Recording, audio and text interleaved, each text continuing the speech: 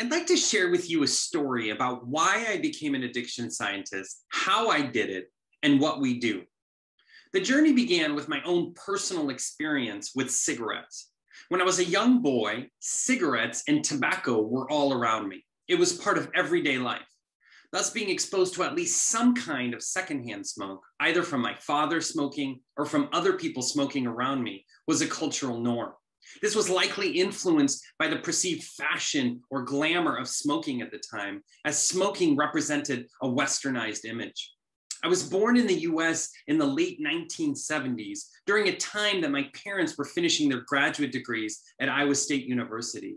We then went back to my family's country of origin, Iran. I was around seven months old at the time, and we stayed in the country until I was around seven years old through the country's turmoil that ensued. This included the Iranian Revolution, the Iran Iraq War, which spurred our return back to the US.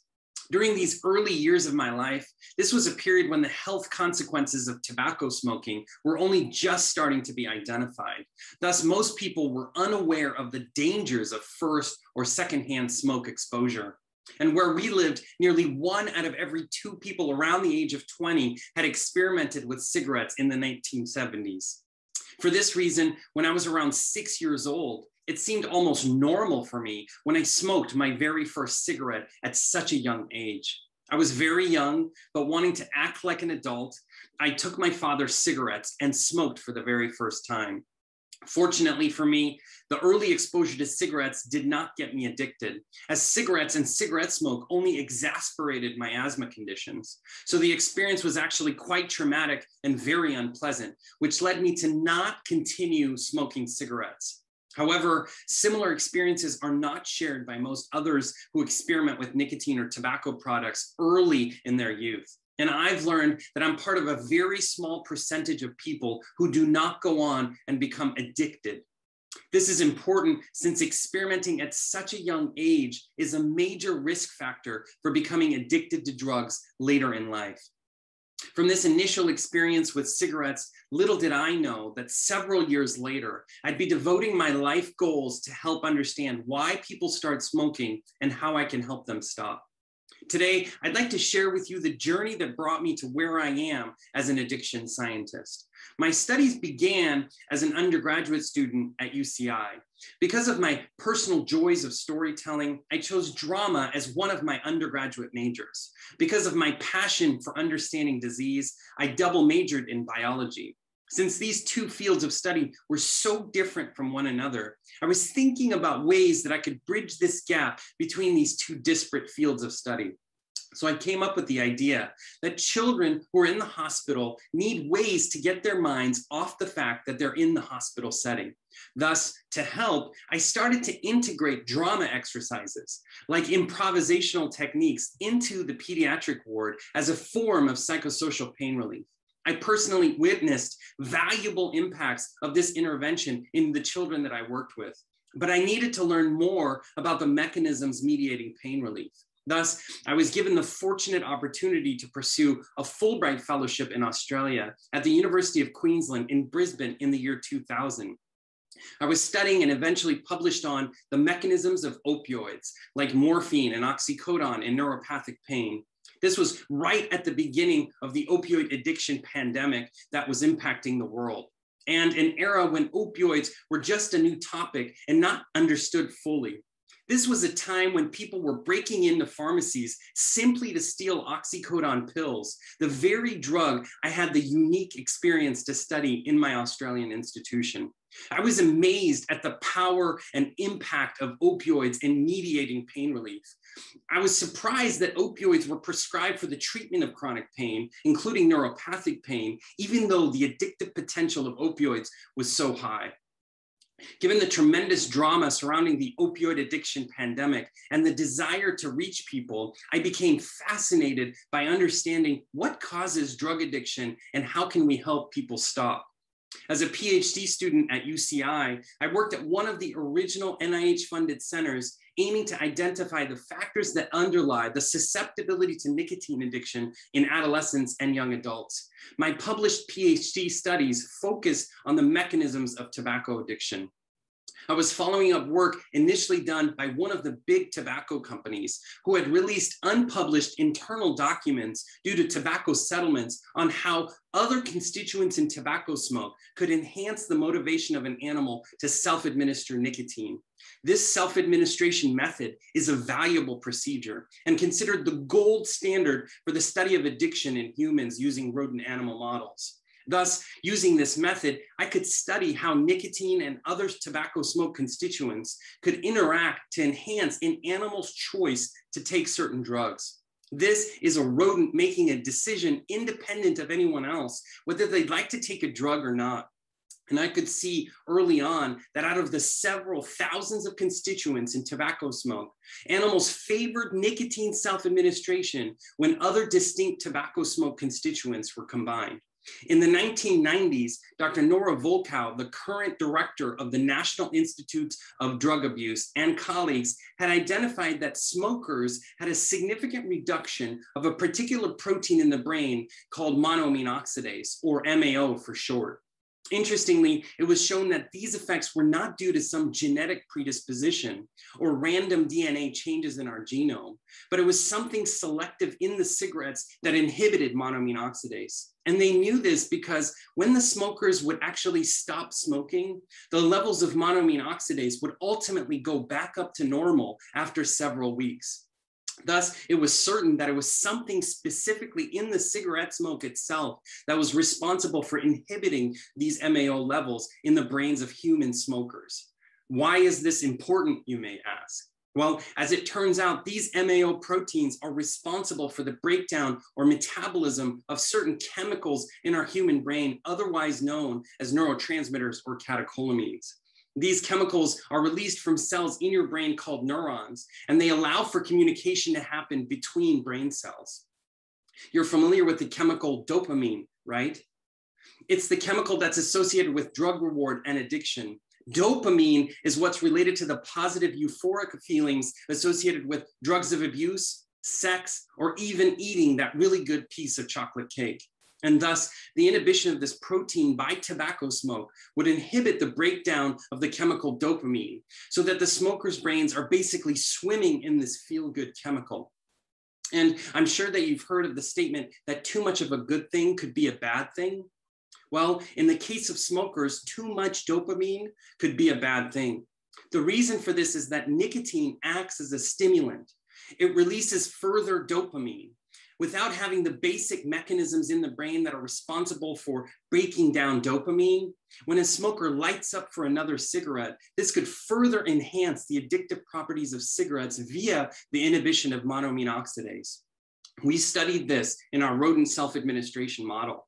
Rats were given a choice on whether they want to use nicotine or not when their MAO levels were inhibited. We administered known monoamine oxidase inhibitors to evaluate nicotine use in rodent lines, as well as dopamine release in reward centers of the brain. We saw profound enhancements of nicotine self administration and nicotine induced dopamine release after uh, these monoamine oxidase inhibitors were administered to animals. This was remarkable, as it suggested that potentially other constituents in tobacco smoke may be interacting with nicotine to enhance nicotine use.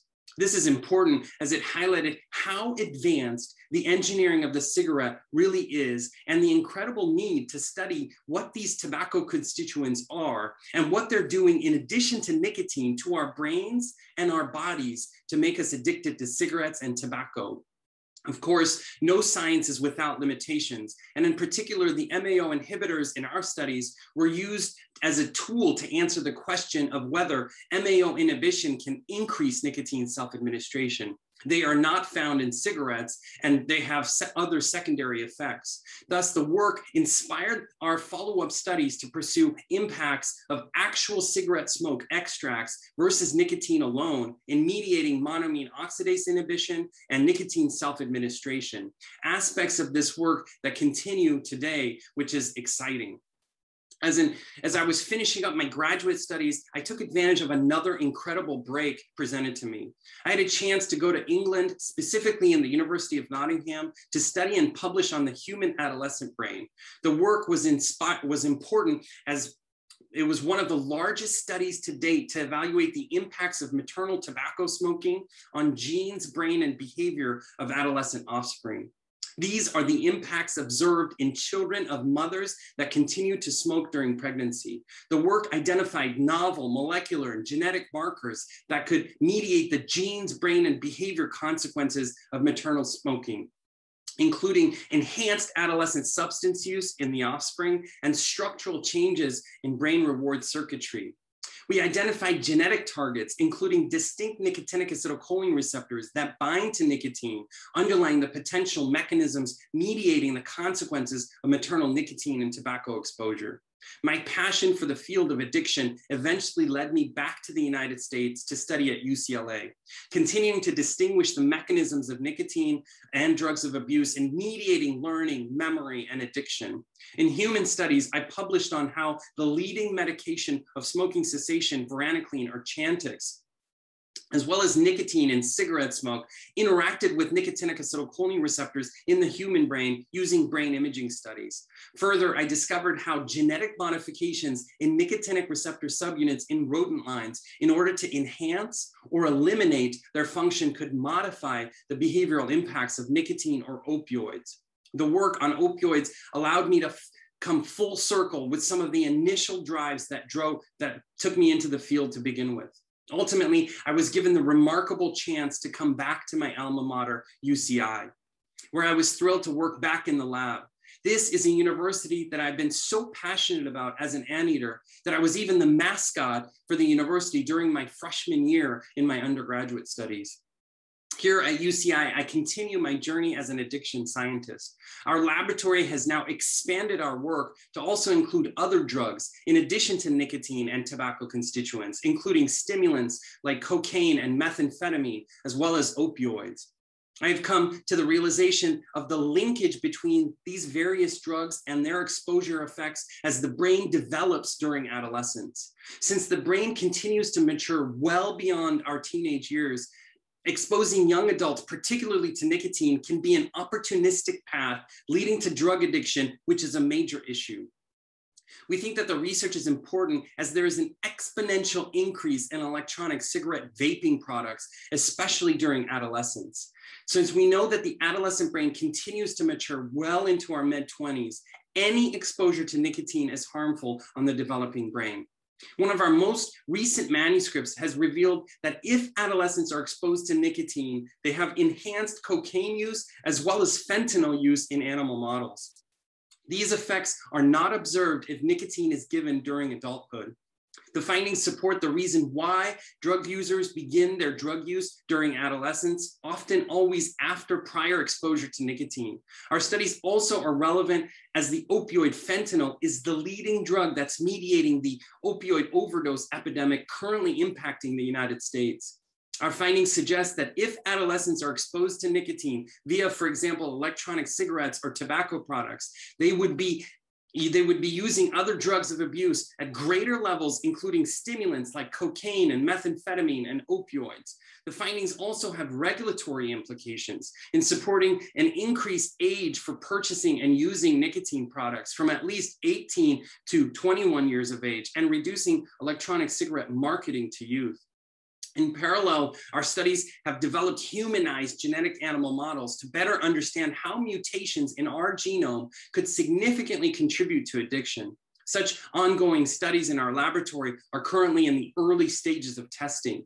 Through our continued research, findings could help lead to future novel therapeutic intervention prevention measures to assist in cessation of substance use.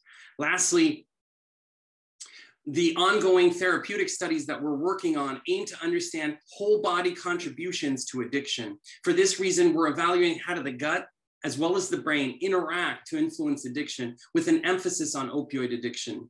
Given the global health consequences of drug addiction, we have no doubt that our efforts are important and relevant to the overall public health of our nation and world. We are confident that if we can curb adolescent drug use or developmental drug exposure during pregnancy and childhood, including electronic cigarettes and tobacco products during adolescence, fewer individuals will ultimately go on and be addicted to drugs of abuse. Such impacts are important now as we're dealing with other pandemics, including COVID 19, particularly since both have impacts on the lungs of smokers, electronic cigarette users, and those that are exposed to secondhand smoke. Understanding the mechanisms mediating addiction and providing improved therapeutic prevention intervention strategies could assist in reducing the over 1 billion people worldwide that are using tobacco products and other drugs of abuse. This very objective represents an important part of my laboratory's strategic plan, which I'm dedicating my life and passion toward. So, what are the takeaways from our talk today? I would like to inspire you to reduce the use and abuse of nicotine and tobacco products in teenagers during pregnancy and development, identify and encourage strategies to stop the marketing of electronic cigarettes and tobacco products to our youth, continue to stimulate regulatory efforts to increase the purchasing and use of nicotine tobacco products to at least 21 years of age, if not later, urge sustained efforts to identify and regulate tobacco constituents in the engineered cigarette or additives and flavorings in electronic cigarettes. Identify novel strategies if that if our youth are exposed to nicotine and tobacco products, we can provide therapeutic interventions to reduce the likelihood of further escalation of drug use and addiction amongst these populations be aware and inform our children of the harmful consequences of electronic cigarettes and tobacco products during development.